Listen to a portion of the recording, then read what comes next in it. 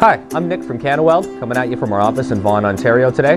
Today's video is going to be about our MIG slash stick 202. So this is an upgraded version of the old MIG MMA 201. Uh, the big main difference is that this one now has the wire, the roll system uh, integrated into it, so you can accept the full size rolls without putting the attachment onto the back. So this is a 200 amp MIG welder slash stick welder, as I'm sure you guessed. If you want to be doing stick welding, you select this option here and follow the icon to your amperage and that's how you'll be adjusting your stick welding. Today we're going to be doing some MIG welding so we're going to flick this up here. We have our voltage control here and our wire speed here. Um, if we were doing some different types of work you can also see that this unit will accept a spool gun. It's got the uh, pin connection here. Today we're going to be doing some stainless steel welding. So we have it set roughly where we want it to be. We're going to be using some 045 stainless steel flux core wire. Let's take a look in here.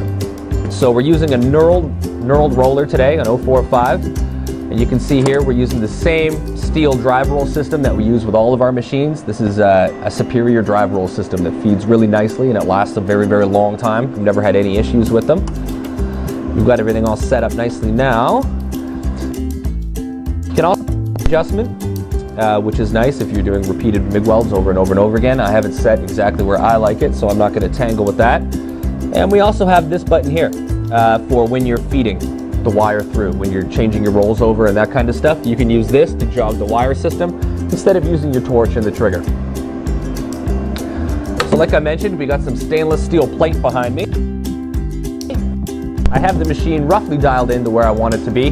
I was a little bit, a little bit thin last time, but we're just gonna try to slow it down and uh, see what kind of results we get. When I'm done doing the weld, I'm gonna bring it up to the camera so you guys can take a look and we'll see what we can do with this thing, okay? So let's go ahead and put our safety gear on.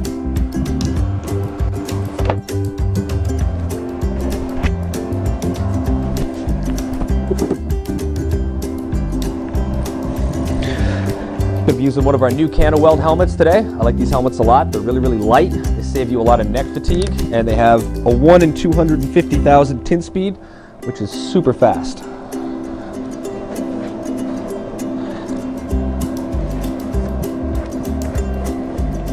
Okay, let's see if I can do a little bit better of a weld than we did on our last one.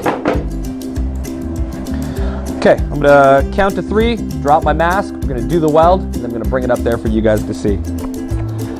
One, two, three.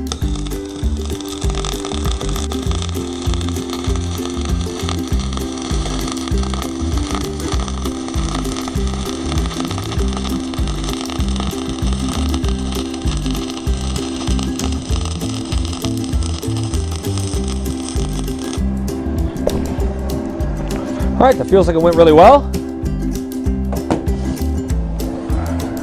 You can see all the slag is popping up on its own. Just give it a hand.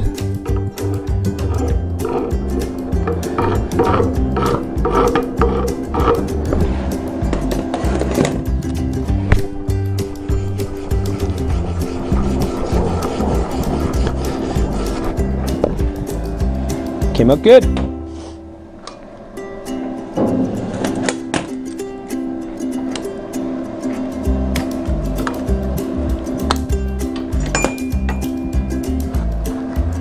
All right, so hopefully the camera can pick this up and you guys can see that's the bead I just did. And this was our test bead we did about 10, 15 minutes ago. This is a really nice machine. It feeds really smoothly. It handles the stainless steel wire really great. It's got a 100% duty cycle when you're welding at 170 amps, which is really quite high. Um, if you have any more questions about it, I invite you to check it out on our website. Don't forget to hit that subscribe button down below if you're enjoying our videos. And you can also follow us on Facebook, Instagram, and Twitter if you're tech savvy. And until next time, guys, thanks a lot for watching and have a lot of fun.